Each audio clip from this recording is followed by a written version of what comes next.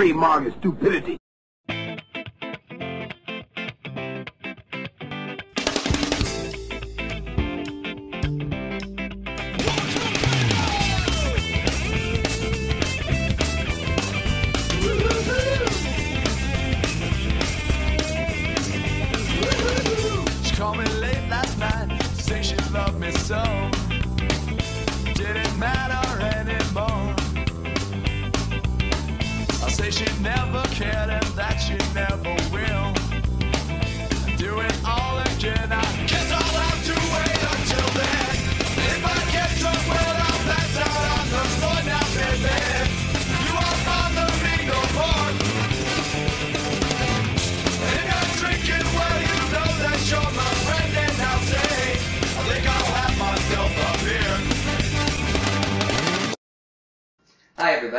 To another episode of Mr. T Pug Drinks a Beer. Um, this one's going to be a little unusual, uh, usually from a bottle. It is the Mississippi Mud Black and Tan. Uh, there's not a lot of information about this on the web or anywhere. Uh, it's from the Mississippi Brewing Company, which is ironically based in New York. Uh, that's about the only information you're going to find out there, besides the reviews from people that have tried it. Uh, as you can see, it looks like it's from an old brown jug of moonshine. Um, now, will it taste the same? Uh, only one way to find out, eh?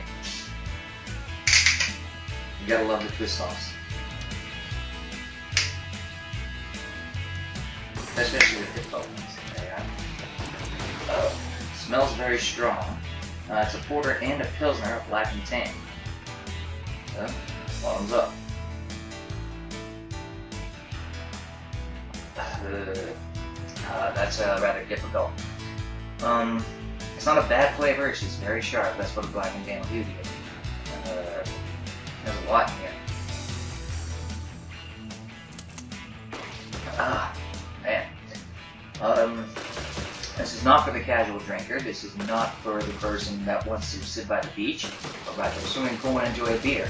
This is uh, I guess the best way to describe it is this is for somebody who wants to get drunk.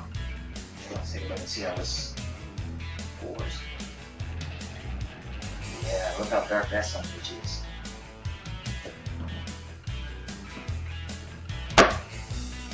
Now let that settle a bit.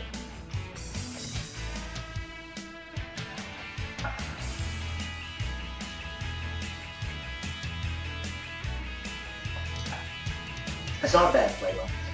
Um,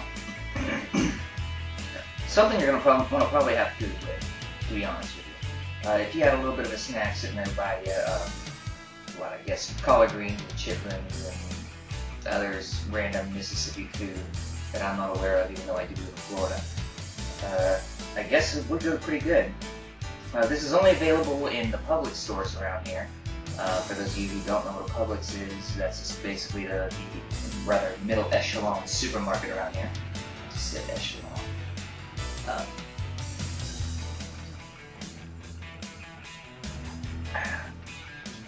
and not too many other places.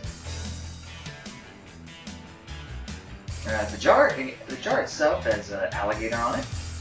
Uh, take a look at that. You can see it's a quart of Mississippi mud. Uh, now, according to the bottle itself, dating back to the 18th century England, the custom of blending pale and dark beers has kept the black and tan a favorite of experienced beer drinkers for centuries. Approximately three centuries, since the 18th. Our famous recipe combines robust classic porter with a fine continental pilsner, serving the character of each uh, legendary black and tan. In true American style, we bring you the best of both beers as they meet in the Mississippi mud.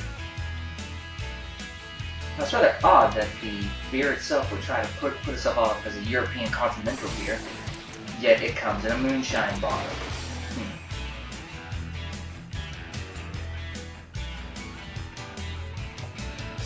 Hmm. Again, this is one of the harder beers to review because there's not much information on it. It's not bad. Again, not, um, I would buy this again if I had a delicious sandwich with me or I had nothing to do for the next seven hours, then it would be perfect. other than that,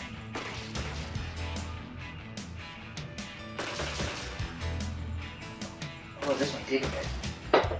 Let's take a look at the color. Like the most black and tans, it's a very dark beer.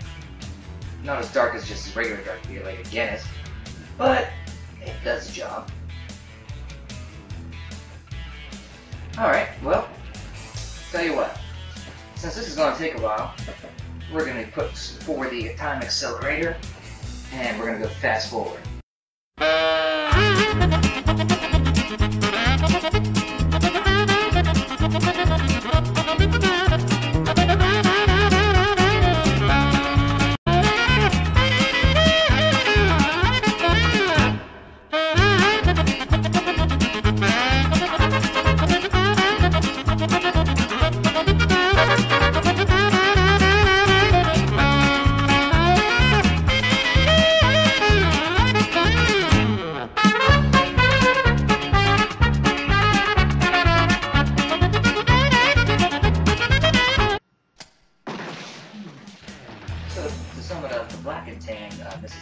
Definitely the one you need to take. Um, if you're drinking quickly, you're going to be sick. Uh, but if you're drinking slow, it's quite tasty, and I would uh, definitely recommend getting them again. Uh, so we're going to finish this off. Cheers.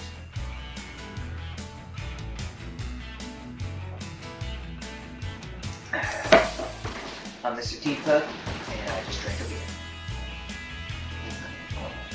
God.